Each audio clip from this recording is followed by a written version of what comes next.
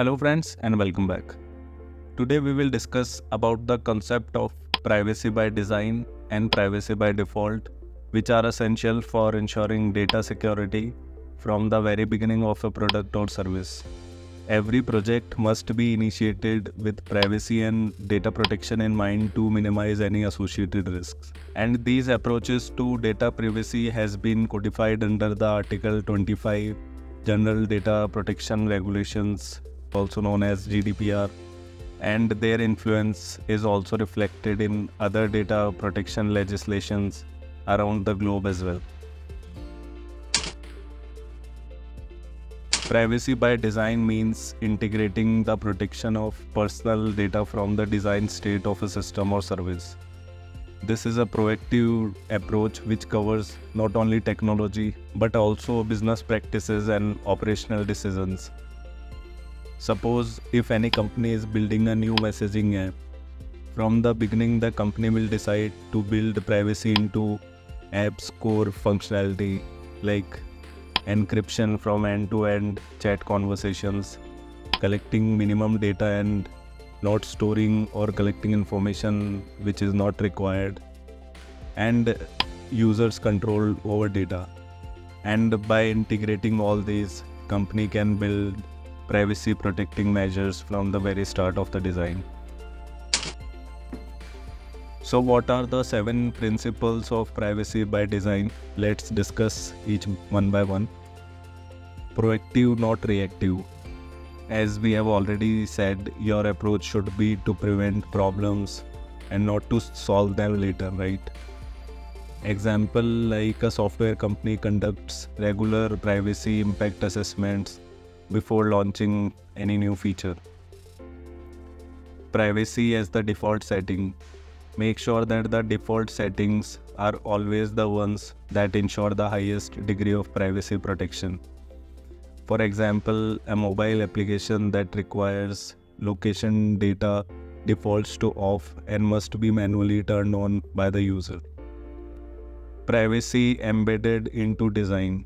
Privacy considerations should be integrated into the design processes at all the stages full functionality, positive sum, not zero sum.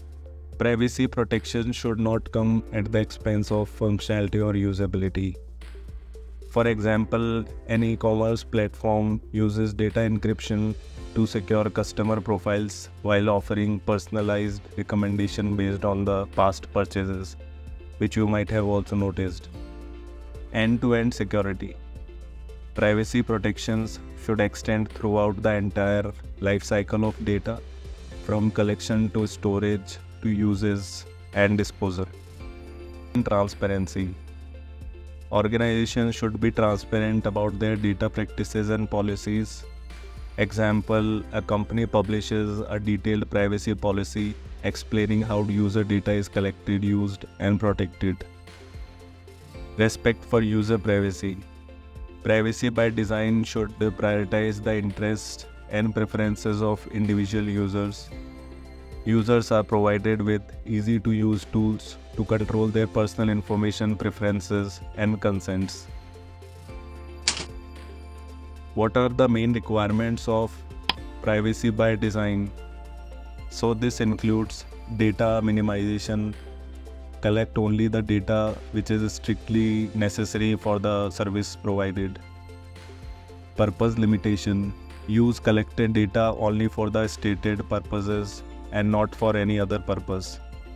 Built-in security ensure that systems are designed with robust security measures to protect the data.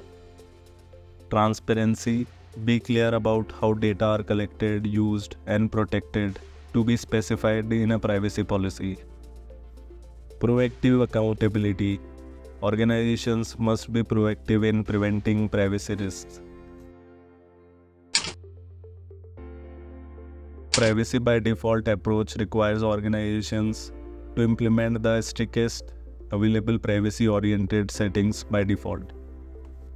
This is done to ensure data minimization, which means only such processing is carried out which is considered to be strictly necessary to achieve specified and lawful purposes.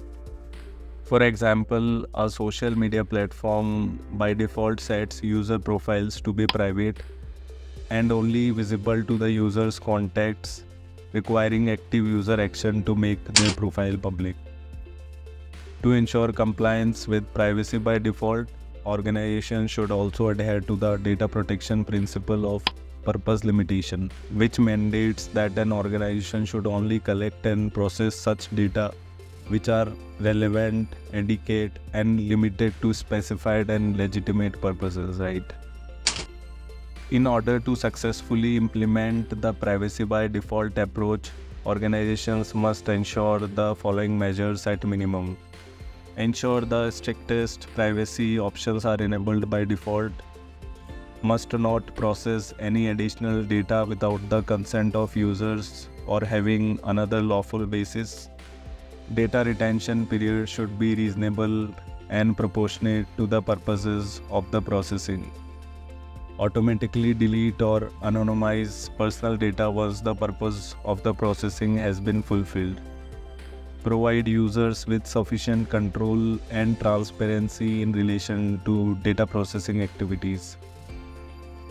Avoid the use of dark patterns while obtaining consent from users.